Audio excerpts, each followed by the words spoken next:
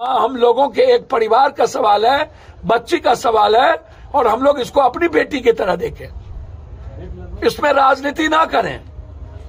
लग रहा बाप रे बाप कहाँ से ही लोग सुभाष चंद्र बोस और भगत सिंह आ गए? लूट लो कूट खाओ।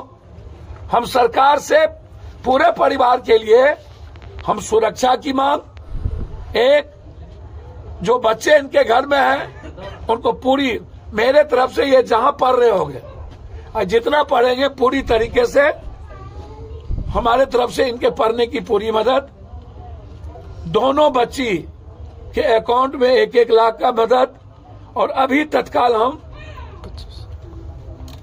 इस परिवार को हम पूरी मदद कर रहे हैं, और कल ही दोनों के अकाउंट में मदद हो जाएगी।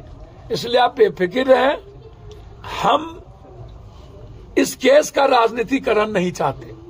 हम इस केस में कोई हीरोइज्म कैरेक्टर नहीं चाहते।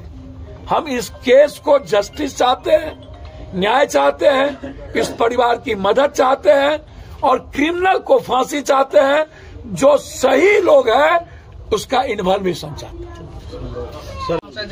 और आप एक बात कहें किसी से कौन पैसा भेजेगा नहीं भेजेगा उसकी चिंता नहीं मैं आपको अपना नंबर देता हूँ। ज़िंदगी मेरी जब तक है जब भी आप बच्ची की शादी हो कुछ हो मैं इस देश के हर परिवार के लिए सक्षम हूँ। भीख मांग करके राजनीति और परिवार की मदद नहीं होती है। अपने बदौलत यहाँ के सांसद भी नहीं आए आप बेफिक्र। और आप की नौकरी हम कोशिश करेंगे पूरी तरीके से किसी यूनिवर्सिटी में आप लग जाएँ ताकि आप इन्वॉल्व भी हो सकें आप मेंटल पीस भी रहें और अपने बच्चों का परवरिश भी करें। यहाँ के